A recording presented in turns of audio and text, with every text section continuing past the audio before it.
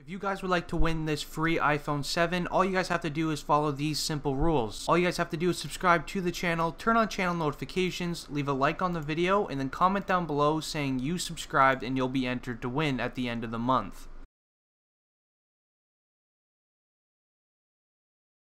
Yo, what is going on guys? It is your boy District Trending here bringing you guys this brand new video. Now today guys, I'm going to be bringing you guys the 100% truth about the rapper Tay-K47. Now before we get into the video, I got to give the shout out notification that is going to my boy Cham TV. Shout out to you, man. Thank you so much for having the channel notifications on. If you yourself watching this video right now like a channel notification, shout out the start of my next video for all of my subscribers to see and help you gain a lot of subscribers. All you guys have to do is turn on channel notifications, leave a like on the video, and then comment on the video saying notification squad to be entered. And if you are new to the channel, make sure you guys hit that subscribe button because if you let me know you subscribe down in the comments below, I'll personally reply to you and go check out your channel and give you advice on your videos and what will make you grow your YouTube channel. Alright guys, so this video has been highly requested by a lot of people. Everyone just wants to know the 100% truth about Tay-K, you know, what how he came up from, you know, to, into the rap game, what was his childhood like.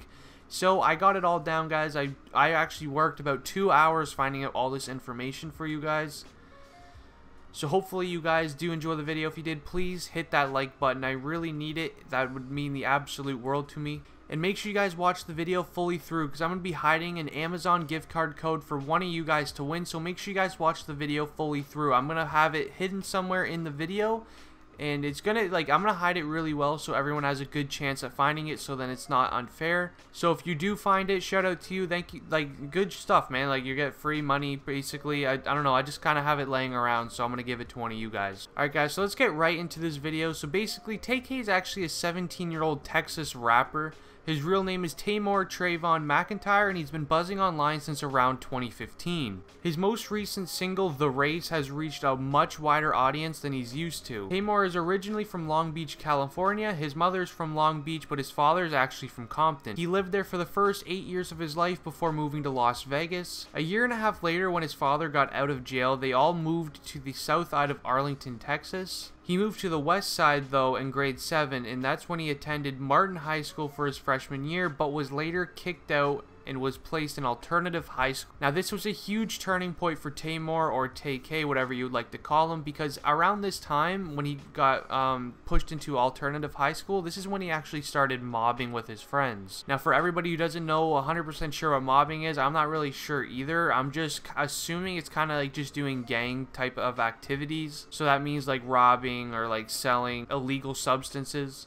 So he met up with a bunch of friends from this alternative high school and then he started mobbing in the streets of the east side. While Tay-K was mobbing, he actually said in an interview he was kind of getting bored of it and wanted to start doing a new hobby. So that's when he actually started to pick up the mic and started rapping in 2015. He has multiple music videos that he's uploaded to YouTube and if you do notice in all the music videos, they are all actually recorded in trap houses. That's because that's where he would stay for most of his upcoming. He didn't like to go home a lot because, I don't know, I guess his parents kind of like pressured him into going back to school and stuff like that, but he just wanted to hang out with his friends, and him and his friends all just stayed in trap houses all across the east side. His most recent project that he actually called was Santana World on July 18, 2017. That was his most recent album, but everybody mostly knows Tay-K for his hit song The Race that was released before he got put in jail. Now I'm going to start getting into the truths about Tay-K. Not lots of people actually know all these things about him. I just told you guys a little brief summary about him, but now we're going to get into the real good stuff, so make sure you guys listen closely. So Tay-K's really hit song The Race, which was released in mid-June, refers to the three months that he, the 17-year-old spent as a fugitive fleeing a capital murder charge in his home of Texas. Now you guys heard me right. This whole thing was, The Race is basically his way of saying that he's running from the cops for a murder charge. During the race, he was actually arrested by U.S. Marshals in New Jersey on June 30th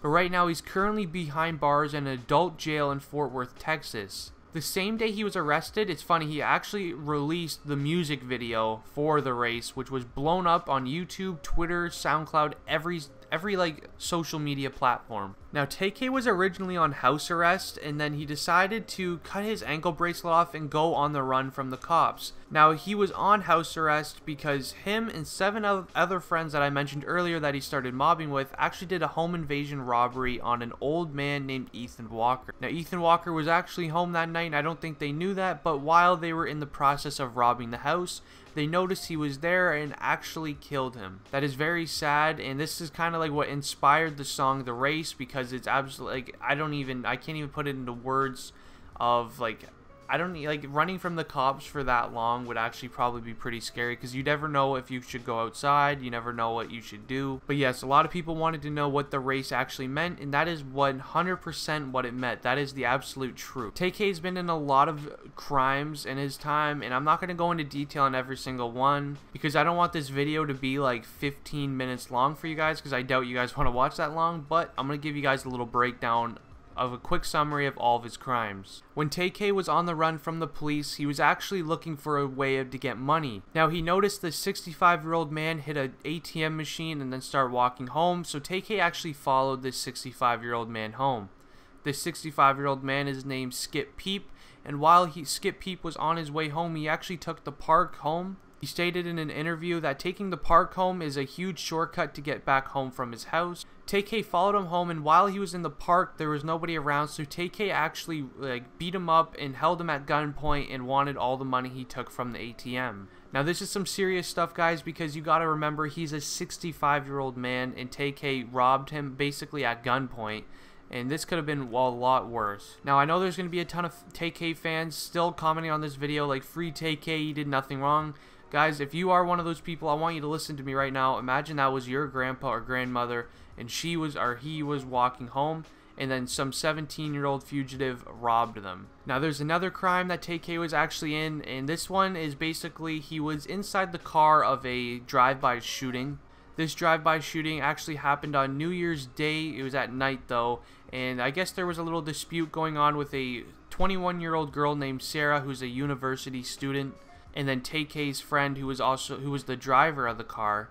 We don't know the absolute details of what happened that night because the 21 year old Sarah actually did pass away that night because of what Tay-K's friend did in the drive-by. The crazy thing is the person who actually did the crime, Tay-K's friend who did it was actually a Marine for the US. He was a Marine for only a year and a half, but he was, still was a Marine and the fact that he had the guts to do this kind of thing was absolutely crazy.